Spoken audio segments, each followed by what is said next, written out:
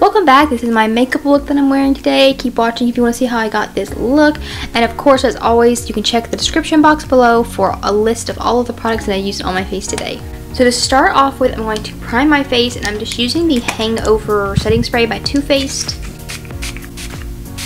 And then for my foundation, I'm going to use the Bye Bye one by It Cosmetics. I'm going to put just like, start with like a half of a pump on my brush, blend this out onto my skin. The brush that I'm using today is by It Cosmetics as well. It's the Airbrush Blurring Brush number 101.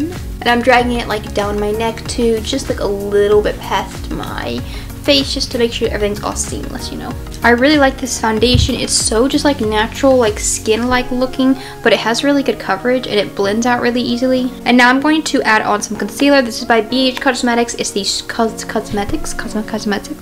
This is by BH, Cos BH Cosmetics. I can't pronounce any words today, apparently. Um, this is the Studio Pro Total Coverage Concealer in the shade 100. I'm going to set all of the cream products on my face with the RCMA Loose Powder and this fluffy brush by Eco Tools. I'm going with just a really fun, just like bright pink look today. I'm going to add on some bright pink blush. This is by ColourPop, one of their little heart-shaped blushes. The shade of this one is called Text Me. So we got some nice blush on. I also put a little bit on the tip of my nose, just like that.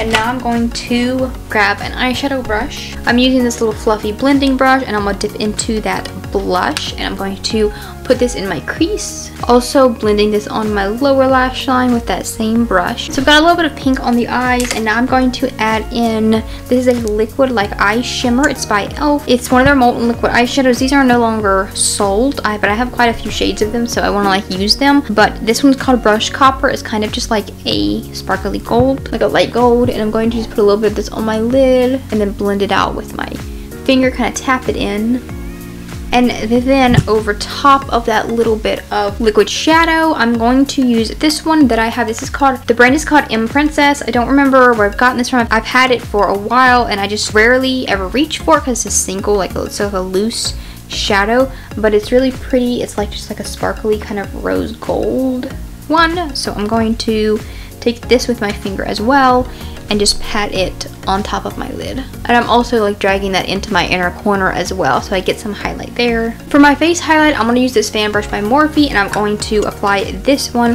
by Ofra. It's called Moon Dance. A little bit on top there, about like that. Put a little bit on my nose as well and also like my cupid's bow.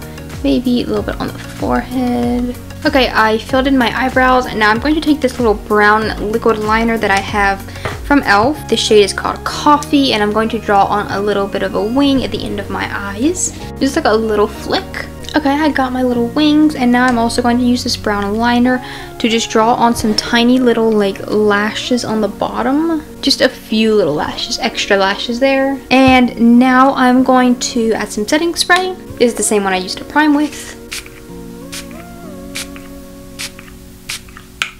I'm using the Ofra highlighter again and a little tiny brush to add on some brow bone highlight and a little bit more on my inner corner too. So for my lips, I'm going to start by lining them with this lip liner by NYX. This is the Suede Matte Lip Liner. I love this liner. This one is in the shade Vintage, which I've never tried before. Okay, so I filled them in and I'm also, I also like um, filled, no, Let's start that sentence over. I lined them and I also filled them in like most of the way on the inside there and now I'm going to go over top of this with this um, Slick Click Lip Balm by NYX as well.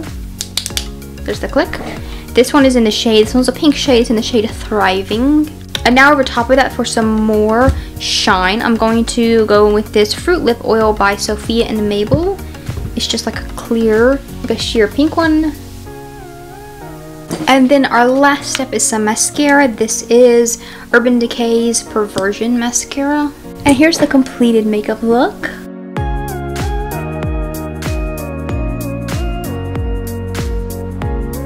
I really hope that you enjoyed watching this video. If you want to see more content from me, I post twice a week, most of the time on Mondays and Thursdays, but sometimes on Mondays and Fridays. So if you want to come back to my channel, I have plenty more makeup videos to choose from, and I'll see you in my next video. Bye!